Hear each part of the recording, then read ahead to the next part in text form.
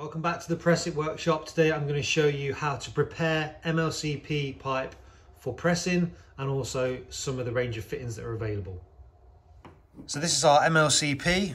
Now you cut this with a normal plastic pipe cutter. We're a bit high tech here at Press It UK so we're going to use the Milwaukee electric cutter. So just going to cut the pipe and then once you've cut it you need to prepare it. We've got a deburring tool here so this just goes into the end of the pipe you can get these as a drill attachment if you want to pop it in your cordless drill. Sometimes that's better for the bigger sizes. And we're just preparing the end of the pipe there, a few turns, and now that's ready to take a fitting. So that's our pipe prepared, ready for a fitting. Now the fittings, I'm just going to show you this one. This is a 16mm MLCP to 15mm copper adapter. Now, I'm just going to break the fitting to show you what's inside it. So we've got two O-rings there.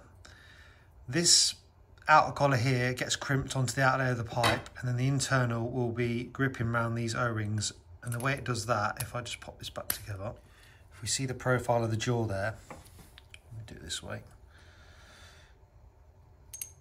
This blue collar locates you over there, or if you're pressing from the other side, there, and it actually presses here and here which is either side of those O-rings.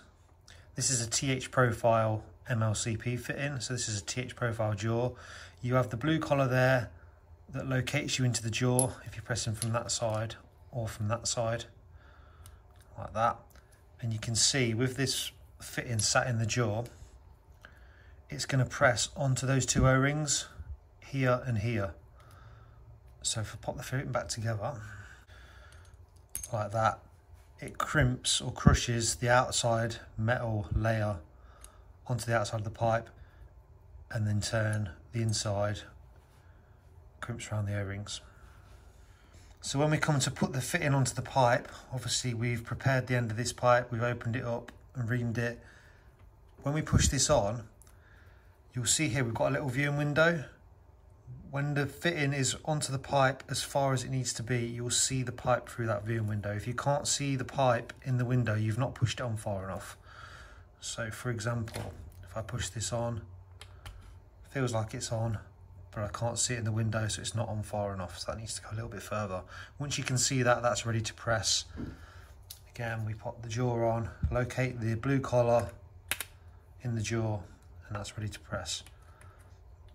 Once it's crimped, you get a really obvious crimp marking on the fitting. So pop that into the press tool, locate it in the jaw, and then press it.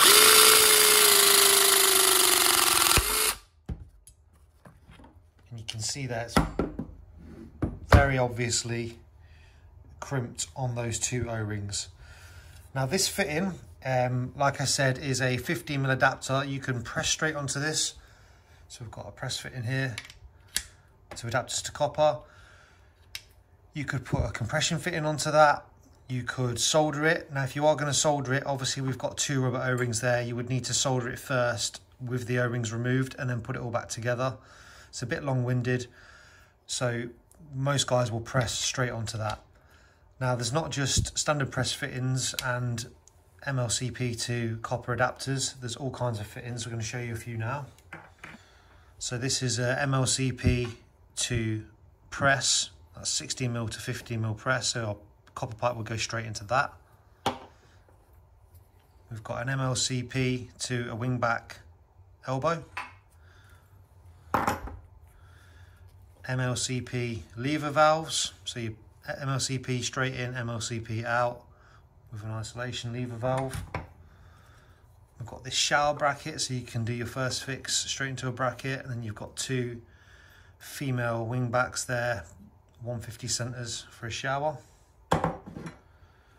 They even now do an MLCP to an isolation service valve, 15 mil compression. And this that I've only just seen for the first time today, MLCP to ISO tap flex. There really is everything available now to get you from MLCP to whatever fitting you're using, whether it be copper or compression or an isolation valve or straight into a shower, there's a fitting for it.